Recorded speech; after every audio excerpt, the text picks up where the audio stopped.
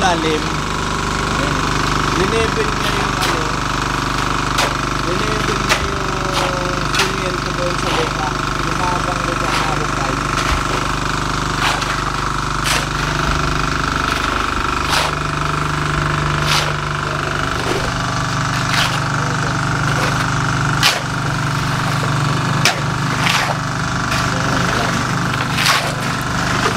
Kaparehas diba? Nakita niyo yung lupa.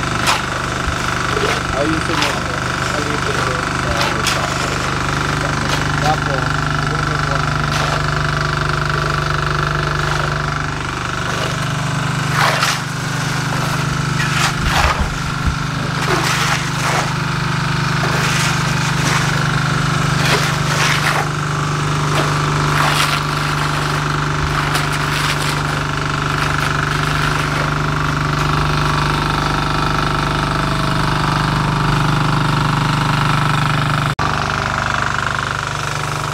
Yan guys, nag-ano sila ulit, nag-halo. Nag-halo sila kasi tinan mo ha. Yung nagawa nila isang butas sa kapalan na nila. Sila yung kapalan. Yan, oh, yan din. Ayun sa dun.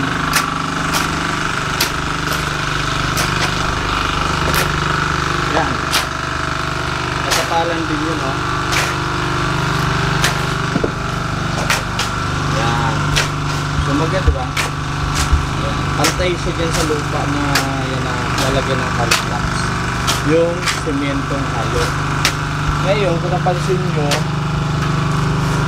naghalo sila kanina, di ba? Yan. Hindi pa pantay. Hindi pa pantay guys. So,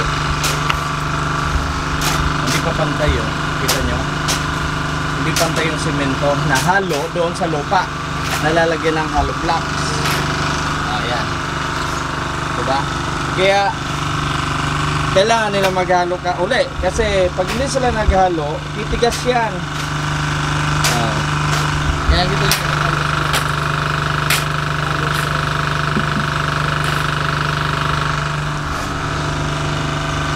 Habulin nila yan. Tapos tuloy-tuloy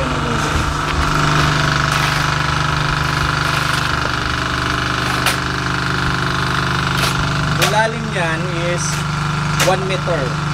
Kasi matigas yung lupa. 70 cm tong talagyan ng malaki.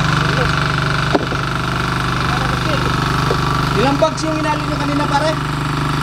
No, tatlo kanina? Okay. Yun ang nagawa. Ilang butas? 1, 2, 3. Ah, tatlo. Tatlong butas din na nagawa. Bali, dosing bag na yan. Eh. Dosing bag? Oo. Lahat na yan, lahat na yan. Kasama na to. Dosing bag na. Yan yung butas sa nito. 1, 2, 3, 4, 5. Ano ba ba ito sila? Ay, yun? Ha? Isang formula nyo lang, 1, 4, 5. Isang bag. Tama?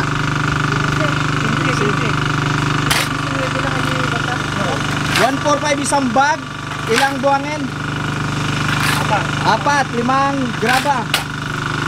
Kailangan nila habulin eh kasi hindi na puno yung